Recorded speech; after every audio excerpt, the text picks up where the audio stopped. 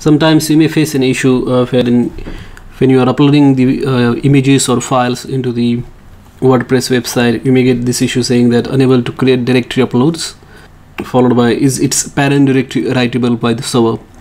So this issue comes when you generally migrate uh, your WordPress website from one server to another server. So to fix this what you have to do is you have to do two things first of all um, make sure that you you got the permissions right for the directories upload directory.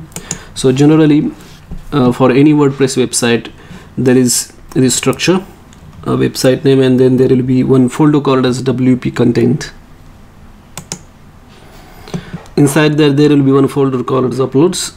And for that permission has to be this 0777 if it is uh, say 0755 you need to change it to 0777 you can do that just by just clicking on this and then you can change the permissions.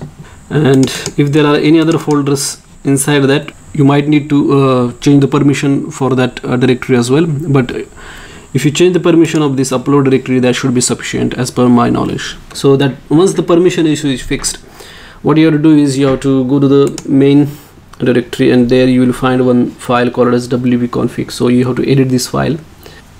Click on that file and then click on edit. I have already opened this file over here and you can see that I have added one line called as define uploads and wp content slash uploads. And then you have to save this file. Once you do that that problem should be fixed. That's how you can fix that uh, issue wherein you may get error saying that unable to create directory uploads uh, is its parent directory writable by the server. If you have more uh, queries or questions let me know through the comments. Thanks for watching this video